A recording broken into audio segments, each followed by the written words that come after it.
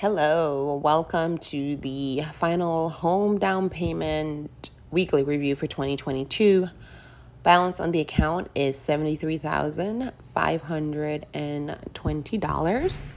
I am 91% towards the target goal for this account of $80,000.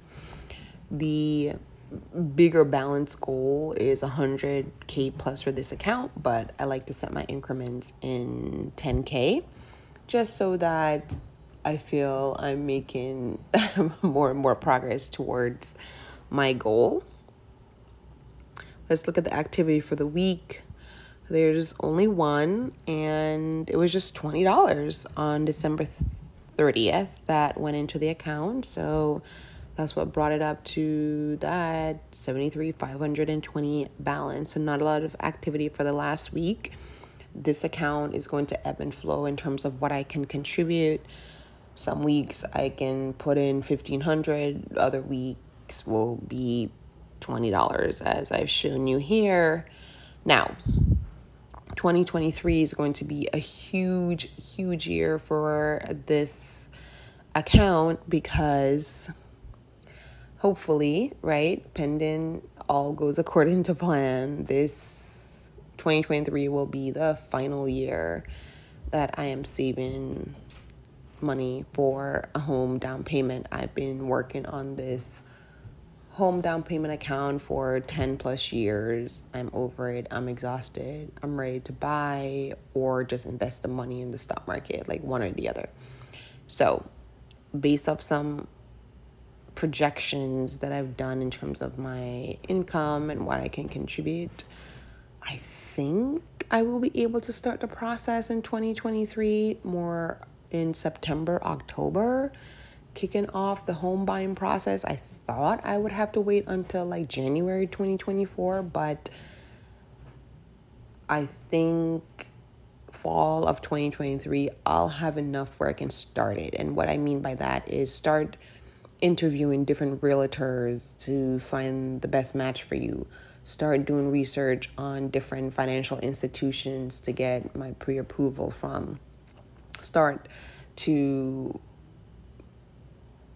be more specific in terms of what I'm looking for. I have a pretty good idea of what I'm looking for, but kind of narrowing it down in terms of like neighborhood because right now I'm looking I'm thinking about like four different neighborhoods, but I think honestly I should just narrow it down to the two that I've actually lived in.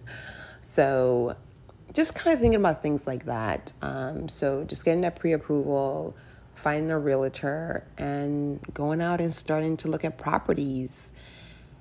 I don't know how long the process will take, but who knows? I could be in my home in the first quarter of 2024, which would be mind blowing.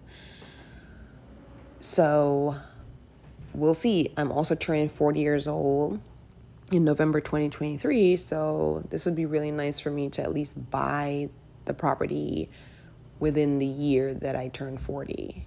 Meaning I won't be able to buy it by the time I turn 40 in November 2023, but like before I turn 41, right, in November of 2024, by before that date, which I think will be feasible for me to do. I am buying a co op in New York City. It requires a lot of money, and I don't know how the process is going to go. I've done as much research research as I can in terms of like co op buying, but I've never attempted to buy a property before much less doing it in a very complicated and extremely expensive market like New York City.